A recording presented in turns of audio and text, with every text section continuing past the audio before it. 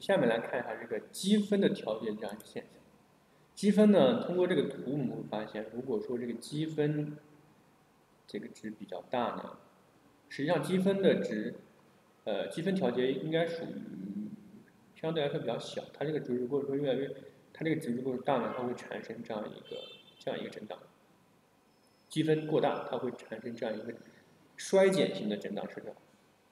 它的现象呢，实际上是跟，嗯，这个微分过小的时候非常类似，但是它这个感觉呢，因为这个微分呢，感觉还是它这衰减幅度比较大，而且一直在这种衰减更严重一点。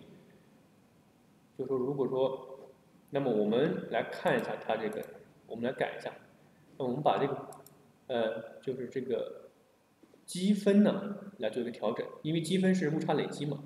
你如果积分系数比较大，实际上它对系统的，呃，就是说作用力比较强，它就会产生这个积积分饱和，导致这个也会产生这个震荡失调。那我们看一下，那么我们把这个积分呢，它的默认值是零点零五，那么我改成零点五，实际上已增大了增加十倍，来看一下它这样。会有这么一个反应，积分。我们看视频。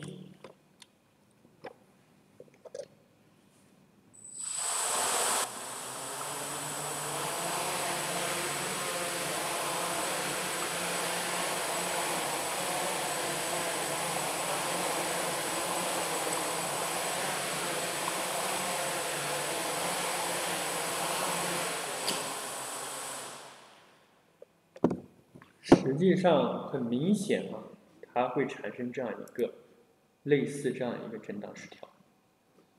那么我们把它恢复成默认值，恢复成默认值零点零五，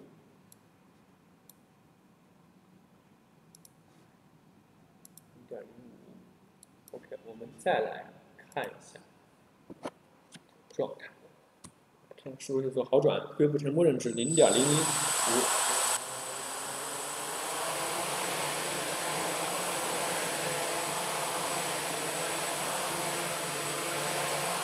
它就没有。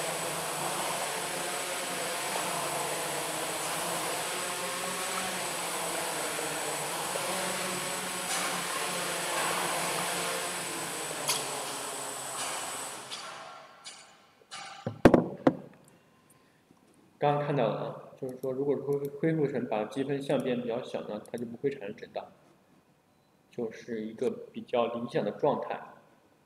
所以说，在这里已经给大家总结总结到了几个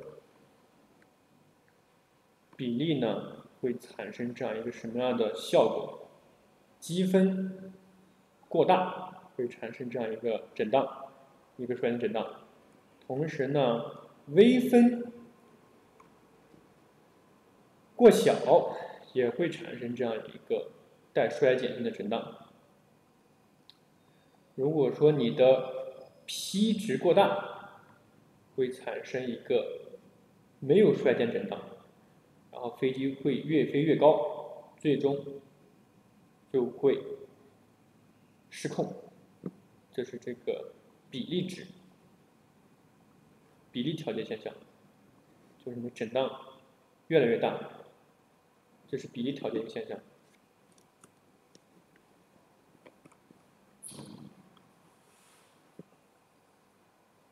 同时，这块有个网站比较好，讲解了这所有的你的 PID 调节的一个方式。有兴趣同学呢，去可以看一下这个网站，去再去。回过头来再去分析一下这个 PID 控制，这样一个理论的参数，在这里给大家做一个总结，大家做一个总结啊，结，如果系统有衰减性的震荡。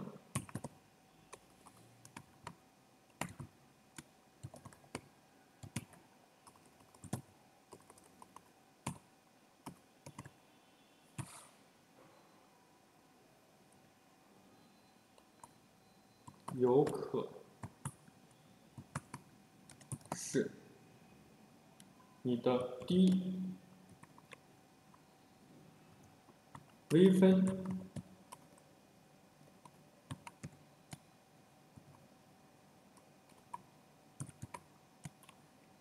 或者你的 i 积分过大，积分过大容易产生超调吗？这是系统有衰减的震荡，就是你飞飞机的时候，发现你系统你在稳定的状态下呢，它会有一个，嗯，机臂呢会荡来荡去，但是会最终消失这样一个状态呢，就有可能是你的微分过小，或者是你的积分过大，因为积分和微分呢都是让系统快速达到这样一个稳定的这样一个状态。同时会产生震抑制你的震荡，系统有开伏，系统呢有，就是说这整系统震荡越来越大。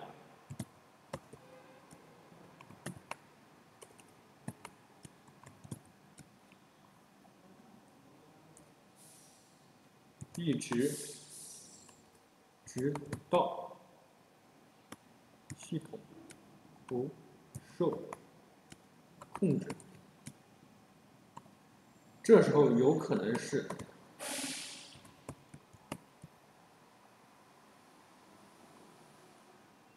你的 P 值过大。因为说你 P 值过大呢，会产生这样一个，会产生这样一个震荡震荡失调，这就不是衰减震荡，这是震荡失调。当然了，如果说你的 P 值过小呢，它达到稳定的状态也非常也非常慢，也是会产生这样一个震荡。P 值过大和过小都不太好。